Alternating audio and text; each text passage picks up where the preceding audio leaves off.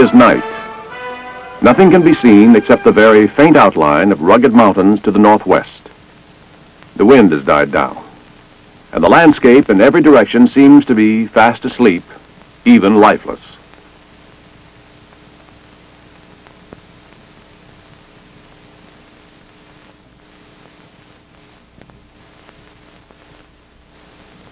Yet somewhere out there in the wilderness, a small enemy patrol is advancing toward one of our isolated base camps with all the skill, silence, and determination of superbly trained and indoctrinated guerrilla fighters.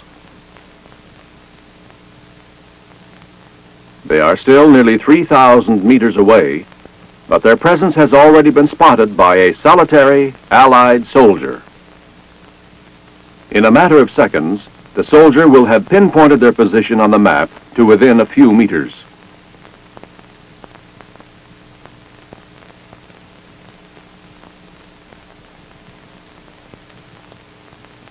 He has identified them as a small group of men on foot, walking men, not running and not crawling.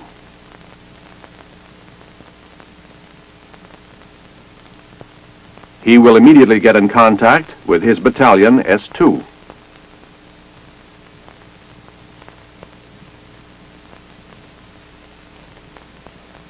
who will show the map coordinates of the reported position to Battalion S3.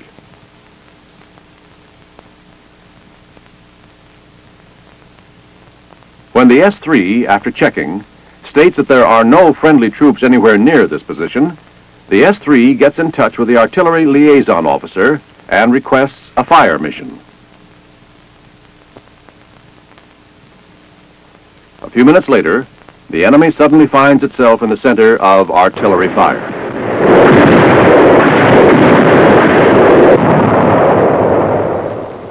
The eyes which discovered the enemy patrol, the ears that heard their footsteps, and the locating capabilities which zeroed in on their position are all enclosed in less than 100 pounds of self-contained radar equipment, the AN-PPS-5. This very sensitive combat surveillance instrument consists of two separate major assemblies. A receiver transmitter, which searches out and collects target signals, and a control indicator capable of providing both audio tones and visual target displays. To see the beginning of this successful mission, let's go back to the preceding afternoon as a ground surveillance radar section sergeant is directed by his battalion S2 to monitor a certain sector of the lowlands between our position and the border mountains.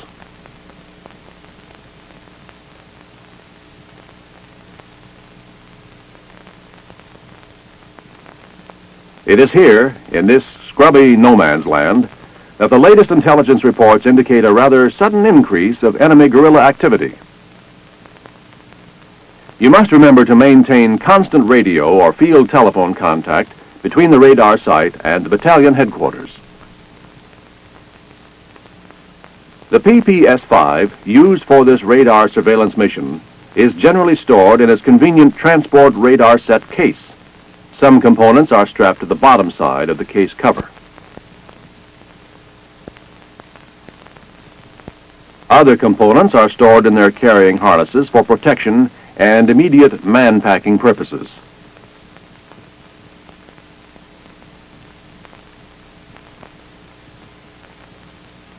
If the situation so demands, the entire system is designed to be man-packed in one carry by a three-man team.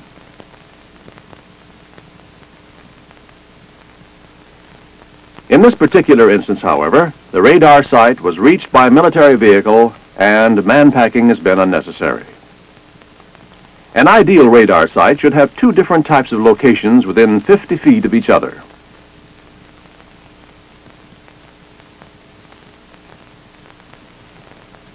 For line-of-sight surveillance purposes, the receiver transmitter must be placed so that its antenna will overlook the area without obstruction and yet it should be concealed as much as possible. Your initial step after selecting a proper radar site will be to set up the tripod which supports the receiver transmitter. Under total blackout conditions, two men can install the entire PPS-5 system, meaning both assemblies, in 10 minutes or less. Remove the receiver transmitter from the carrying harness.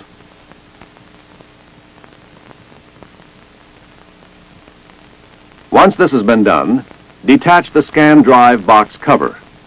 The receiver transmitter, or RT box, houses the basic radar components and the scan drive box which moves the antenna back and forth.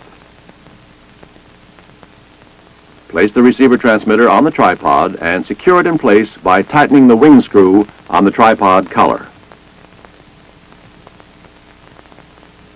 Now, raise the column to place the receiver transmitter to the desired operating height. Release the end cap and remove the stowage bracket containing the feed horn, telescope, and ground pins.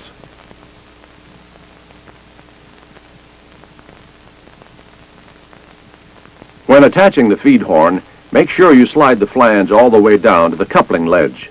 Otherwise, the radar will not operate properly. The control indicator should be located in a relatively protected, unexposed position offering cover for the operator. When this unit is used, communication must be maintained from its location. At the same time, the reflector halves can be installed, making certain that the three locating pins on the antenna reflector line up with the three locating holes on the receiver transmitter.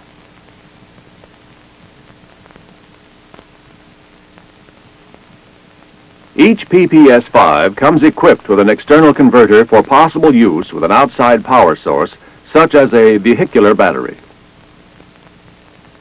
But the customary power supply for the system is a four-cell rechargeable battery which comes in its own self-contained battery box.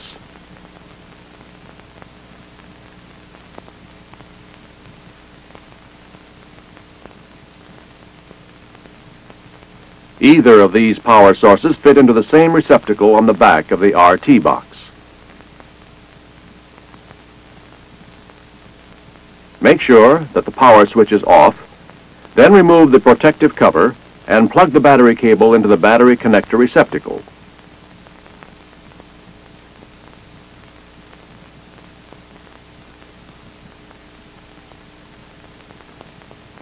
The last item to be installed on the receiver transmitter is the telescope, which mounts on top of the RT box.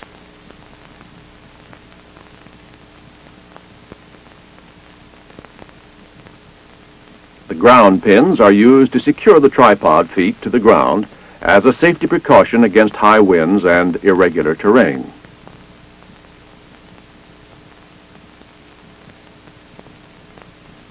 Place the stowage bracket back in the column and lock the end cap into position.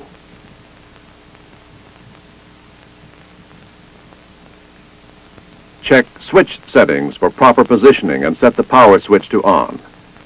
The receiver transmitter must be leveled prior to set operation. Leveling wheels beneath the antenna drive unit provide a means of setting the RT unit vertically straight.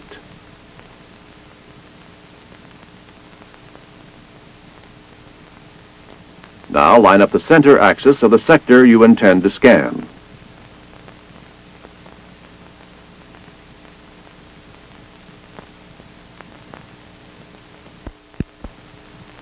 Then regulate the Adjust Scan Orient knob so that the arrow of the indicator will point straight up to the center line. This centers the beam, which means that the antenna will scan an equal number of mils in either direction from its current position.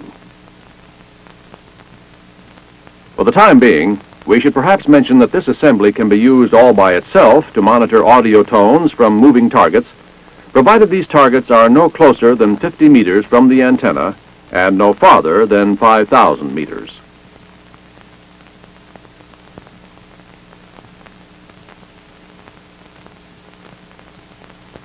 But this capability is generally restricted to emergency situations in favor of the more versatile and longer-range control indicator. The control indicator connects to the receiver transmitter by a remote cable and is comparatively easy to place in operation.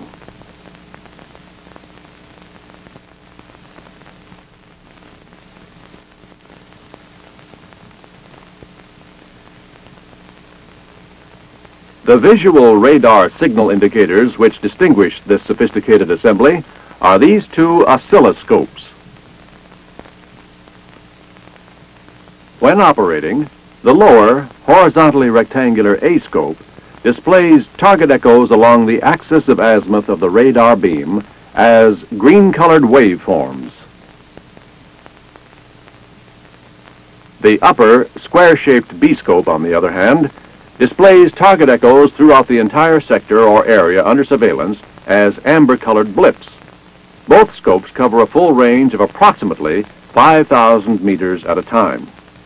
In addition, both scopes have movable range gate markers for tracking possible targets and measuring their distances from the receiver transmitter. Since all these images are difficult to see in full daylight, the control indicator is provided with an optional viewing hood which fits over the scopes.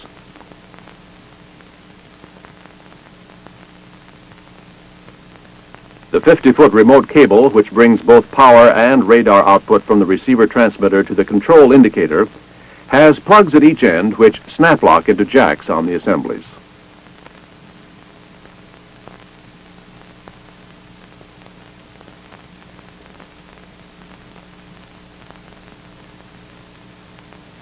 Allow enough cable slack between the control indicator and the receiver transmitter to permit the antenna to turn as far as it needs for scanning operations.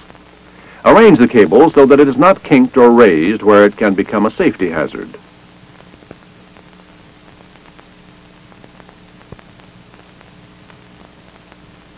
Once the two assemblies have been connected, there are several pre-operational checks and preliminary control settings to be made at each instrument.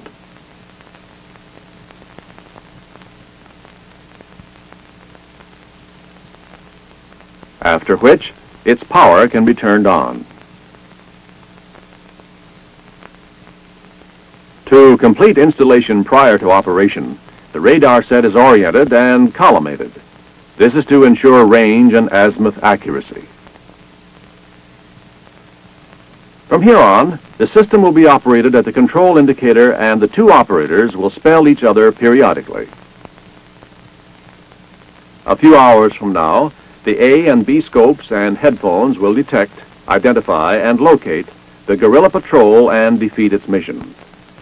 To see how this will be accomplished, let's visit a staged demonstration where we will be able to observe the operation of the PPS-5 as various targets come within its range.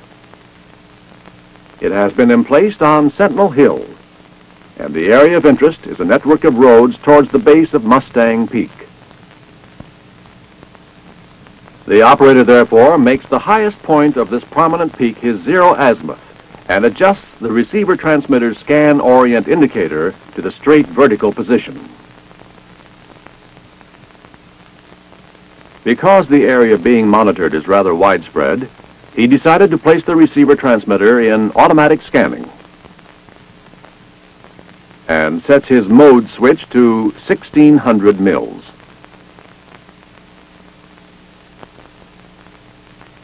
This means that the antenna system will scan a right angle sector which extends 45 degrees or 800 mils to either side of the zero azimuth. Due to the considerable width of this sector, the operator sets his speed switch to 4 or 320 mils per second. The fastest of four possible scanning speeds. And because the area being monitored is from 7 to 8,000 meters away, he sets his range kilometer switch at 5-10. This means that the A and B scopes are now covering all possible targets within the area being scanned, whose distances from the radar are between 5 and 10,000 meters.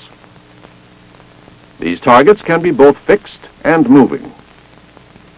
As you see here, the tremendous number of stationary targets such as trees, bushes, rocks, hills, and buildings create what is commonly called ground clutter.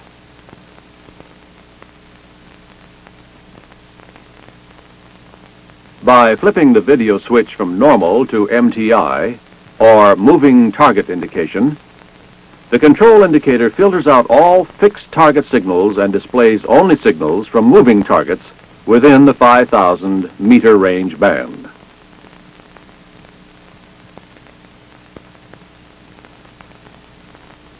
Within this range, the operator can at the same time listen for audio signals from moving targets in any selected 600 meter segment whose position is determined by the range crank setting. The 600 meter segment is covered in two sweeps of the 300 meter range gate. When the antenna moves from left to right, the far 300 meters are covered, and during the right to left sweep, the near 300 meters are covered. At the present moment, there are no moving target indications on either scope. Then, without the knowledge of the operator, a parked Jeep suddenly starts moving along a distant road according to a prearranged plan.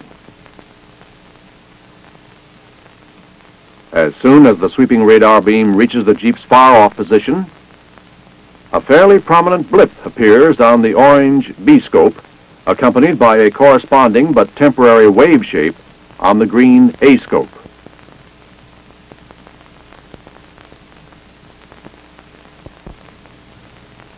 Since the instrument is in automatic scanning, the operator decides to concentrate on the B-scope and his headphones. According to the vertical range kilometer scale to the right of the B-scope, the source of the yellow blip is about 7,900 meters away and according to the horizontal scale just below the scope, its azimuth is approximately 420 mils to the right of center.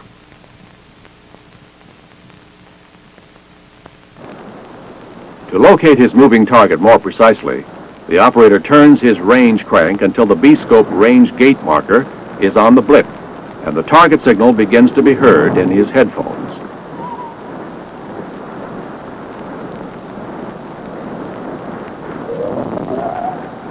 He then moves the antenna control switch to neutral, which causes the antenna to stop scanning and hold. Next, he puts this switch into either forward or reverse to pinpoint his target azimuth.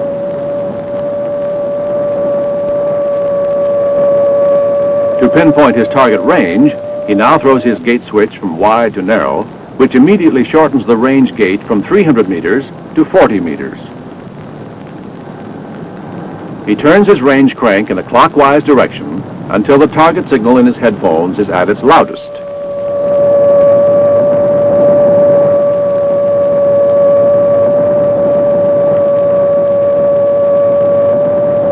Then, the operator presses down the azimuth read lever and holds it. He is now able to get the precise target azimuth from the azimuth counter and the precise target range from the upper range counter. and from the audio tone in his headphones, the operator recognizes that this is the characteristic sound of a moving Jeep.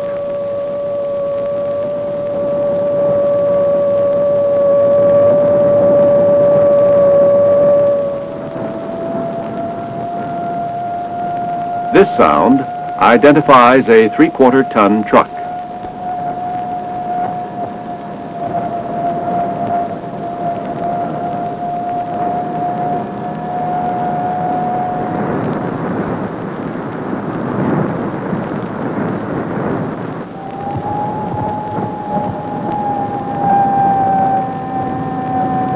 a two and one half ton truck.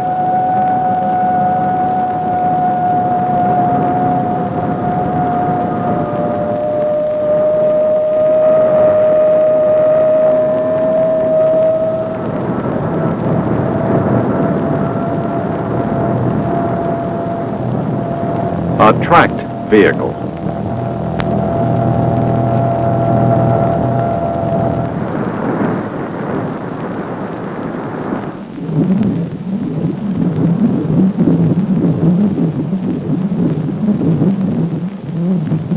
and at a closer range, a single soldier on foot. In each case, he identified his moving target by its characteristic audio tone. The audio signals from a group of men on foot is equally characteristic.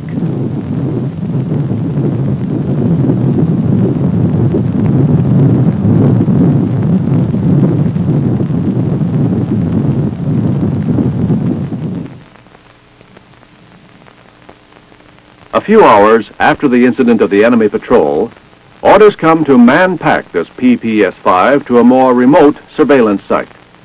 You must first of all turn off the power at both the control indicator and the receiver transmitter.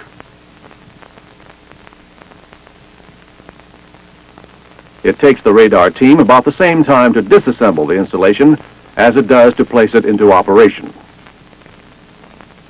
Disconnect the remote cable from the receiver transmitter and the control indicator, making sure that the protective covers are placed over the cable ends. Then stow the cable back into its pouch in the antenna reflector carrying pack. Disconnect the antenna halves.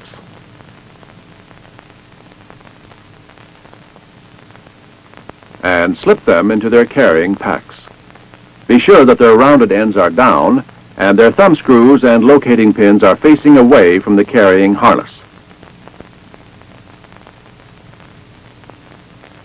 When removing the feed horn, grasp it as near to its flange end as possible and place it out of the way.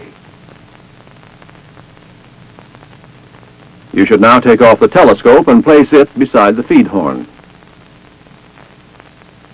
Then you can easily remove the battery box.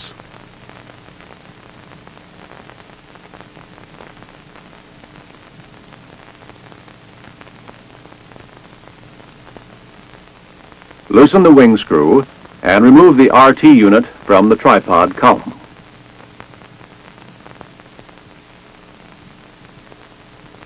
After this, latch on the scan drive box cover. Next, clip the ground pins, telescope, and the feed horn to their stowage bracket.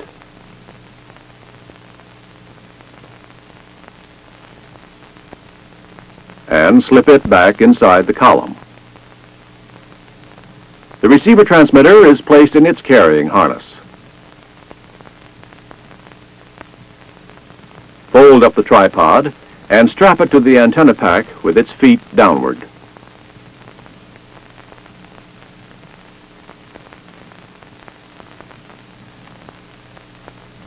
In the meantime, the assistant operator has pulled the viewing hood from the holding strip on the control indicator and places it back into its cover. Secure the hood in place by buckling the hold-down strap. Put the cover back on the control indicator and lock it into place by closing the four catches, then insert it into its carrying harness.